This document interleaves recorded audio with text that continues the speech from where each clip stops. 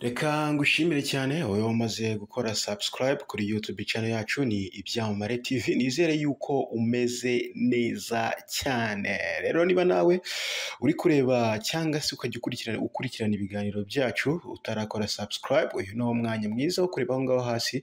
Hari buto y'umutuku yanditseho subscribe nuyikandaho ugakanda no ku nzogera byegeranye. Ndabizi neza bizajya bikorohera kubona amakuru yacu uri mu ba mbere. Nkwibutse rero yuko tukugezaho inkuru ziba zigezweho yaba hano mu Rwanda ndetse no hanze yarwo. Reka tunyarukire rero muri Kenya. Inkuru iri kuhavugwa ni inkuru y'umugabo n'umugore bagijwe imbere y'urukiko bashinjwa kwiba umufuka wa kawunga. Umucamanza afata umwanzuro wo gukusanya amafaranga abagurira inyama. Ibi ngibi rero nakubwiye yuko byabereye mu gihugu cya Kenya. Sa Sawumu Ali ukomoka muri Kenya n'umugabo we Ivan Odhiambo baherutse kugezwa imbere y'urukiko bashinjwa kwiba umufuka wa kawunga ariko umucamanza aza gufata icyemezo cyatunguye benshi eh, cyo gutangira gukusanya amafaranga yo guha uyu muryango ahubwo kugira ngo ugure akaboga cyangwa se inyama. Ibi ngibi rero byabaye ku wa cumi na gatatu mata ni bwo uyu mugabo n'umugore basanzwe batuye mu gace ka shimanzi eh, bafashwe biba umufuka w'akawunga kagura amashiringi ya kenya agera ku gihumbi magana cyenda mirongo inani ubwo tuyashyize mu manyarwanda arenga gato ibihumbi birindwi. Uyu mufuka bawukuye mu modoka y'uruganda rutunganya ibinyampeke rwa Glen Industry Limited. Barawutwara. Nyuma yo gufatwa n'inzego z'umutekano ndetse dosiye yabo irakorwa ishyikirizwa ubushinjacyaha ngo baryozwe iki cyaha. Benshi iyo bashaka gutebya bita icyo kwitiza iby'abandi. Ubwo bagezwaga mu cyumba cy'urukiko uyu mugabo n'umugore we bavuze ko bemera icyaha ariko batakambira umucamanza ngo ababarire kuko ibyo bakoze babitewe n'inzara yari ibarembeje n'urubyaro rwabo mbega inkuru uyu mugore wari warize yahogoye yagize ati narindi gukora akazi kanjye gasanzwe k'amaboko. Umugabo wanjye arampamagara ansaba kumufasha kwikorera uwo muzigo umufuka w'akawunga yaribye. Twabikoreye urubyaro rwacu twakuye uwo mufuka mu modoka yari iparitse hafi y'umuhanda. Umugabo wanjye ansaba kuwumufasha nkawutwara.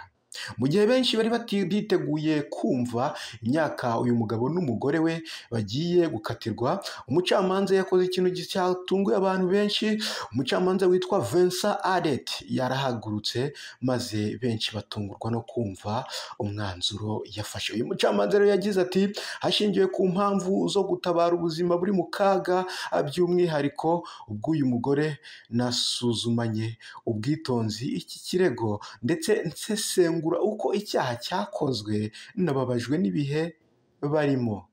Aho bafite abana batatu bagomba kwitaho kandi nta kazi bagira. Uyu mucamanza rero yakomeje asaba abari baje kumva urubanza guteranya amafaranga kugira ngo bafashe uyu muryango ndetse banawugurira inyama. Zo kugira ngo barishe ako kawunga.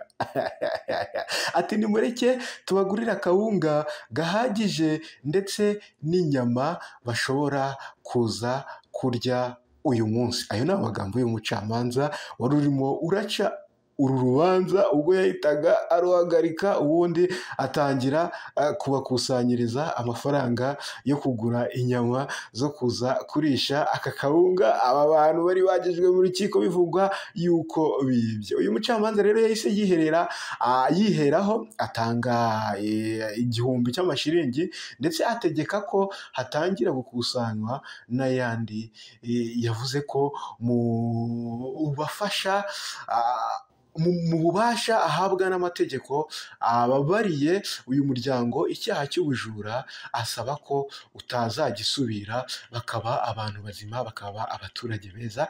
Iki kintu rero cyashimishije abantu benshi batandukanye ndetse abantu benshi nagiye mbona bashimira uyu mucamanza bavuga yuko ari umuntu mwiza bavuga yuko yakoze ikintu gitandukanye n'abandi bacamanza wenda dusanzwe tubona aho umuntu wibye bashobora kumukatira umwaka umwe cyangwa se imyaka ibiri eh, ni cyo gihano bagombaga guhabwa ahangaha muri Kenya ah, mu gihe bari kuba bahamwe n'iki cyaha. Kandi koko byaragaragaraga ko banarabyemeraga kuko iki cyaha cyarabahamaga Ah, rero buri muntu wese afite uko abona iyi nkuru ufite uko igukoze ku mutima niba rero hari igitekerezo cyangwa se inyunganizi ushaka kuduha cyangwa se hari icyo ushaka kuvuga kuri iyi nkuru ushobora kureba aho ngaho hasi muri comment section ubundi ugatanga igitekerezo ukatubwira uko ubyumvise cyangwa se uko iyi nkuru na yo igukoze ku mutima kuko nabonye abantu benshi yagiye bakora ku mutima ndetse hari abo yashimishije hari n'abo yababaje bari kuvuga bati uyu muryango rwose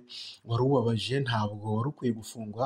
Ah, bari mu mujyo umwe n'uyu mucamanza ndetse hari n'abandi bagiye bavuga bati bari bakwiye gufungwa kugira ngo ingeso y'ubujura bafite icike.